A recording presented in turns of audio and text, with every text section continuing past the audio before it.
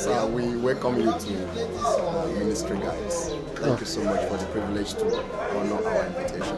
Uh, we just wanted to tell us who you are, your, your ministry, and um, your advice for upcoming young ministers like pastors, evangelists, and those who say that God will call them.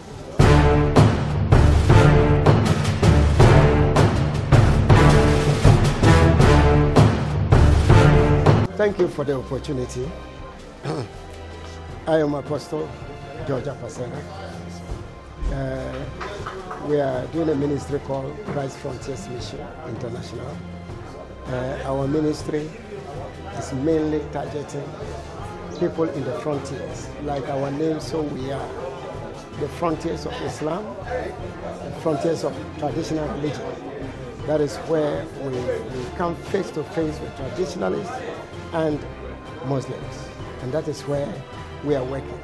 And in this country, Ghana, the, the, three, the five northern regions, that is where we have majority of Muslims, because Muslims are majority in the five northern regions, They are followed by traditional religion before Christians. So that is where we are working.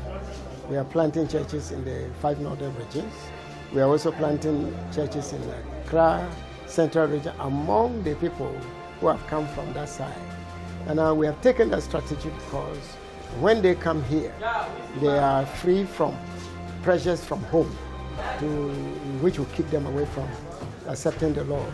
So that's why we're working amongst them here. And we have planted three churches so far. But in the three uh, five northern regions, we have got about 50 churches, mainly in these rural areas, places where uh, people don't want to go. Churches are not established. We are the first to go there and plant churches. And we still have hundreds of villages like that, which we are targeting to reach. Apart from Ghana, we also work in Burkina Faso. In Burkina Faso, we are working among the Dagara people. The Dagara people are mainly traditionalists. They are worshiping idols and they are doing all these things. We also work among the Muslims in, in, uh, in Burkina Faso. And then in Niger, we work among the Fulanis mainly, and then some of the Hausa people who are there. So that is the ministry that we are doing called Christ Frontiers Mission. We are also into Mali. Now we have not done much work there in Mali yet, but we have already visited the place.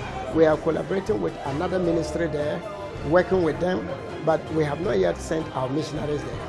But we are, uh, we are also there. Uh, so this is what we are doing in Christ Frontiers Mission International. And I happen to be the general overseer uh-huh, because God burdened my heart for this ministry, and then that is what we are doing. Mm-hmm. Now, sir, uh, in just a brief summary, sir, uh, what is your advice for the upcoming ministers of the gospel? Well, the advice is simple. They must be mission minded. Now, people enter ministry without being mission minded. They look at it like to be an alternative source of income for themselves. That is very bad. Ministry is not about looking for work, employment for yourself, but ministry is about missions.